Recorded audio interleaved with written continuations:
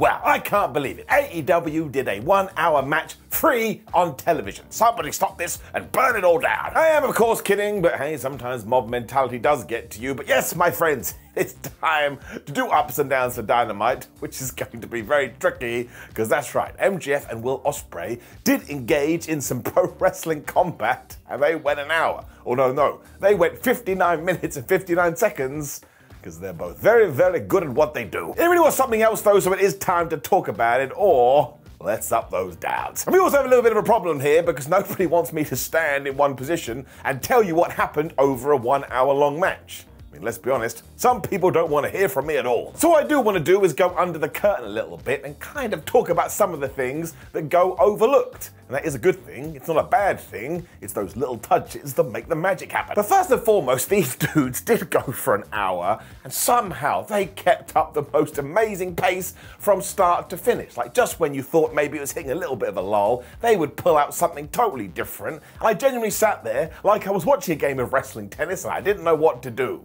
And I realized, no, you're just meant to watch Simon. You're not involved. Stop being an arrogant Alan. I mean, even if this style of wrestling isn't for you, I still think you should watch a little bit and just think about carding and think about timing and think about keeping this up for as long as they did do. I genuinely think it's one of the most impressive things I've seen all year. I mean, you have to train like a monster for this, which means it probably wasn't a last minute thing.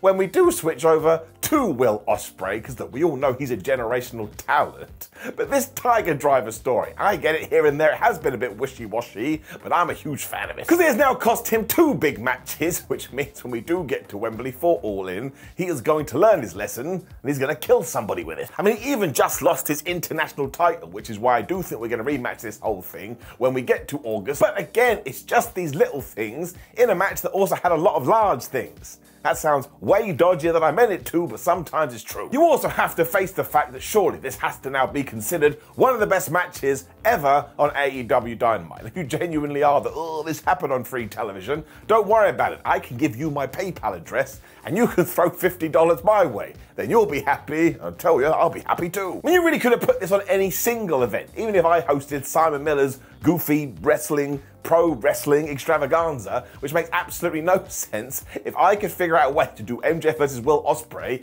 even if it was their guy's 772nd match, I would figure out a way to do it. You also had MJF bailing at the start and just being a massive asshole when, yes, he saw a sign in the crowd and he ripped it up. Now, I didn't actually notice this at first, but as the wonderful internet did tell me, apparently, and I did go back and look at it, I think you are right, the sign read, Simon, give me it up. So you have no idea how much I howled at that, and no, I don't think MJF knew what he was doing. He just saw a sign and went, ha ha, let's get rid of it. But my word, I did a dance of joy, because I'm a massive nerd, and I'm a massive geek, and I'm a massive arc. But whoever you are, you are a soldier of honor, and you were getting it up. Ospreay was also doing moves he hasn't done in years, such as the flying flip-flop space bob thingamajig. That's not what it's called, but who cares? He was doing moonsaults and he was landing on his feet. All the while, both guys are just sprinting and sprinting and sprinting, and they're never slowing down. And that's one of the reasons they duped me. I didn't think anybody was going to be able to keep this up for an hour, as I keep telling you, but by Jove, they did. We also made sure there were plenty of times where it looked like William could have won, like when he hit the Oz cutter, but MJF rolled to the floor. And of course, don't forget Ospreay's shoulder went out at one point, which is when Freeman walked over. It's like, get out of here, doctor. You think I care about injury? No. Now I'm going to rip that thing from its limb,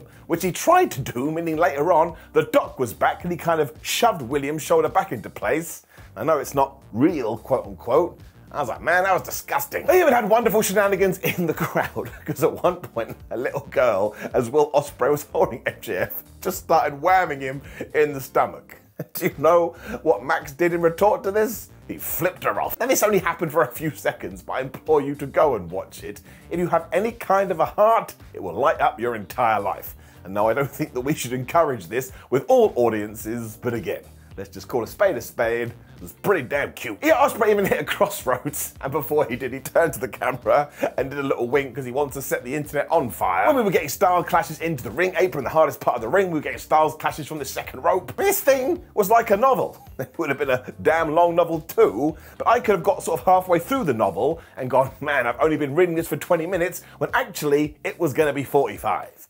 Didn't explain myself very well there, but look at me, how can you be surprised? MJF even hit that big elbow drop through Alan the announce table, which had double meaning because it was that move that took him out last year. So he was taking risks too, and I want to make that very clear. Will Ospreay was the man, MJF was the man, and they just had great chemistry together. They should go and take signs. The counters reversals towards the end was also like watching an episode of Looney Tunes, and man, when Ospreay hit that Oz cutter and the Spanish fly and essentially got the hidden blade, when he only got a 1-2 ooh, I stood up, I looked around my room, and I was like, well, what is happening? How have we got here? This is absolutely redonkulous. Max also spat in Will's face for the hot couture, where he also fell down and he missed a hidden blade. And that's where this thing just went totally off the rails. We made it very clear, oh my gosh, oh my gosh, William Ospreay is going to win. When as soon as he could cheat, MJF basically went and cheated. Because he realized that even though Ospreay had him in the Tiger Driver position, this schmo wasn't going to be able to do it because he does have a good heart. So he shoved Will into the referee, he got the diamond ring, he smacked him right in his face. Ospreay went down, and I mean it. They even had a timer on the screen. He got the one, two, three with like one or two seconds left, meaning if this had happened even like the teeniest bit later, it would have been a draw. I mean, honestly, that's some really good Shit. You also have to remember it now means that MJF is the brand new international champion, and my gosh, we sold this afterwards. Will was all woozy goozy, and Maxwell had to get oxygen. He had no more air in his lungs. Now, I'm not going to say I'd have no words because I just gave you a bunch of words, but not in my wildest dreams did I have expectations to this level, even though I knew going in it could have been a match of the year, but man, they took that and they just smashed it out of the arena. So it's without doubt a match of the year candidate, and if we do do it again at All In, that is going to be a match of the year candidate too, because even if they went to the ring and played checkers, followed by chess, and then just looked at each other, I'd be like, man, that's so great But sometimes people just work. So you won't be surprised to hear it doesn't just get an up, it gets a golden up. And listen, I understand an hour is a long time to try and spend in your busy life, but if you do have those 60 minutes, it gets the Simon Miller you should watch this seal of approval. I think that's going to catch on, but this did flub me sideways. When we got some blood and guts news. Why not? The short version is Mark Briscoe was well aware that he did need some partners, and even though he does have Swerve Strickland, which is a pretty good guy to have by your side, do you know who have now been tagged in? It's the acclaimed. That makes sense. They don't like the Young Bucks. This is happening next week too. By the end of the night, we were going to find out who the fifth person was. But in terms of AEW just having banger shows, well, they are riding the wave. When it was time for Chris Jericho's TV time. That made me laugh. What a 180. Now, you know my thoughts on the gimmick and you know my thoughts on talk shows, so I was kind of torn here. But as ever, Chris just makes me laugh, as does Big Bill, as does Bryan Keith. That dude is so mad, and we don't even know why. Jericho also made sure to run down his CV, because of course we are on Dynamite 250, and I think he called us our branches, and rest assured, when it gets to Dynamite 500, Chris Jericho will still be here. Look, that is in five years' time. Maybe he will. He then showed footage of Samoa Joe and Hook basically being killed and admitted that he was the perpetrator. So I really thought about this. I was like, I'm pretty sure it's a crime. Like, if I set fire to somebody's face and take somebody else and throw them through a wall, and then I come out on live television and say, I definitely did this, the police are probably going to arrest me. So bring it down, crime counter goes up by one. Was then going to give us some more teachings when he got interrupted it was by none other than Minoru Suzuki. He also had a contract for an FTW title match, which Bryan stole off him, and he had a mini meltdown. He's like, wait a minute, I don't want to do this because it says you're fighting next week for that FTW title, and that me and Big Bill are banned from ringside. You gotta do what it says. They all look like sad pandas, so Suzuki took advantage of this and he headbutted Chris Jericho. And then do you know what he did? He did the wave and went, hey guys, this is why Suzuki will always be one of my favorite people in the world. It looks like he's gonna murder you, but it'll also be absolutely hilarious. This should be fun though, and given the next week's episode of Dynamite is another big one because it is blood and guts, why not have two legends go at it? Like, I really don't think we need to be negative Nancy's about that give it a When the Elite replied to Team AEW, they too aren't very happy. Matthew Jackson isn't bothered though because by next week they will have all the power and maybe even the gold because they are going to do such a number on Swerve Strickland, he is going to have to vacate the World Championship. I was like, man, that is a really, really fluked up stuff to say. Mercedes Moné then walked in and thanked them for banning Britt Baker from the evening. And these guys have such good chemistry. When Okada was there, he asked Moné to do her dance. She did. And Carter was like, oh my gosh, I'm so hot. It's so hot in here. Because basically he got the hots for Mercedes. I was just on the floor after this, and I know a lot of people don't like how AEW has treated Okada. I do. He brings so much joy to my life. I watched it twice and I laughed out loud twice, which sure, it means I'm the problem, but I'm wearing the t-shirt for that reason, I'm giving Okada an up. When we went right into Mercedes Moné versus Nyla Rose, and it's a round of applause for these guys too. They already had quite the task ahead of them coming off that Will Ospreay MJF match, but Mercedes has just found her lane right now, and we do not praise Nyla Rose enough. As it is Dynamite 250, it feels like the right time to say she has been there since the beginning, and everything she's basically done has always been entertaining, and this was just yet more evidence of it. I mean, at the start, Moné was trying to use her speed to outdo Nyla's power, and when she went for this tornado DDT, Rose stopped her in her tracks and basically shouted, What what are you doing? Threw her across the ring. Once again, I was chuckling away. It's the kind of levity you need. Nyla then wrecked her with that awesome flying knee when they too got into some wrestling tennis. When I think the commercial break may have screwed Rose over. Now, I never know this when I'm watching AEW, because I watch it on FITE TV or Triller or whatever it's called these days, so we don't get that. But all of a sudden, Mercedes had locked on the abdominal stretch. Is always an interesting name for that move. It just sounds like something that would be quite beneficial. It didn't bother Rose at all though, because she just flattened Mercedes when she hit that cannonball in the corner. And you ain't gonna believe this, she got one, she got two, she got an ooh. It meant that Moné was able to come back with the knees into the corner. Given that they were near Tina the turnbuckle, they went to the top and Mercedes gave her this really cool top rope bulldog. I thought that thing looked pretty damn devastating and we should do it more. I didn't very much enjoy the story because it was totally ridiculous. Because Moné did reveal, haha, I've got my own DMD glove, and she went to put on the lockjaw. What did Nyla Rose do? She just went, ah, and she bit her fingers. Now, Mercedes sold this wonderfully, but as the commentators told us, oh no, she's not a dentist, she's not Britt Baker, so she doesn't know where to put the finger in the right place in order to numb the mouth. That's one of the most absurd things I've ever heard, but it's also brilliant wrestling. Give me more of it. Instantly, Moné then switched to the statement maker, I think we're now calling it, although it is just the bank statement, and she got the submission victory. And I tell you, getting essentially a tap out win over Nyla Rose I think that's a big deal. It was so great afterwards as well because there was somebody in the crowd with a Sting mask who had a Britt Baker sign. And when Mercedes went to rip that up, surprise, surprise, it wasn't Sting and it was Britt. My word, am I glad we're keeping this meme going. Mercedes Moné is brilliant as this character too, because she left it like she'd seen a ghost before the wrestling security got out there and kept these two apart. So these two are just great together. I don't see why their match won't live up to expectations. And it's not even like they're doing anything complicated. They are just doing the simple things oh so well. So this is another great story that AEW has, and I cannot wait to see that match up. We then had a quick video reminding you that Mariah May had tried to kill Toni Storm last week. But as she was about to come to the ring, we'll get to it in about four seconds. Before that, though, we did see Jack Perry. He was all like, man, Darby Allin, you didn't have to attack Brandon Cutler if you wanted my attention, because I don't really give a crap about Brandon. I was like, what a horrible thing to say. It got even worse, though, because it was revealed that Jack Perry, too, had built up Brandon Cutler when he said to Darby, if you want my attention, you should have just asked. I was be like, Perry, that'd be well weird. If Darby Allin walked in and said, Oh, Jack, can I have your attention? We'd all go, I'm out of here. When we got to another crazy segment of this dynamite, because here came Mariah May. And she came dressed out like Toni Storm, and she looked so much like Toni, I think some people in the crowd were like, Oh, thank goodness she's not dead.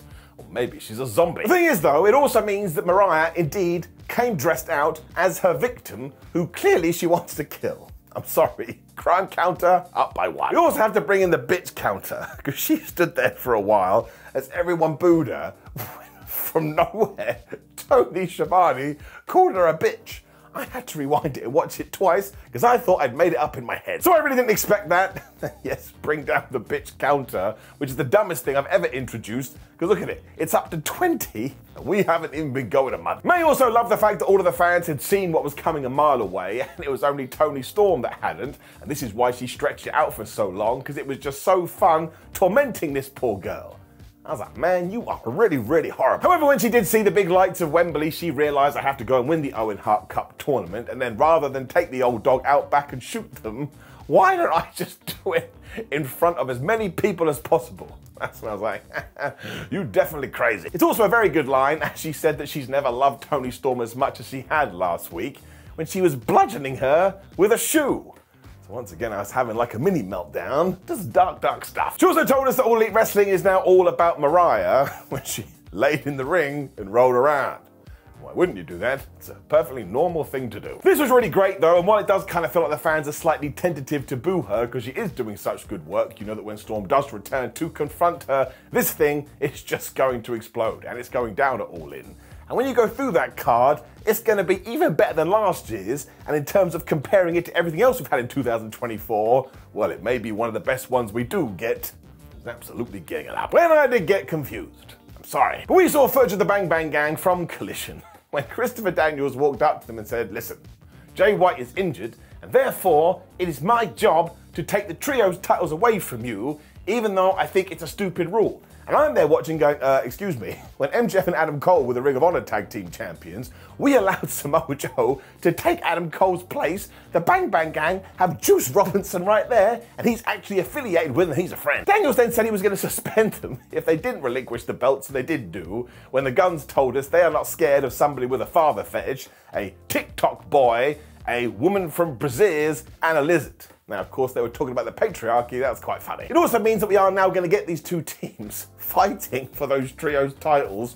So why didn't we just keep them on the Bang Bang Gang and allow Juice Robinson to replace Jay White? Like, it's not a big deal, and talking about this makes us mega nerds. But sometimes sense to smack you in the face, and you can't make heads or tails. And again, there have been other times when this wasn't the rule, so we need to decide on the rule. It's getting it down. When we got to our main event, just like that. So you can't say that AEW didn't go all out for Dynamite 250, because it was Swerve Strickland versus Okada. And while it was champion versus champion, no belts were on the line.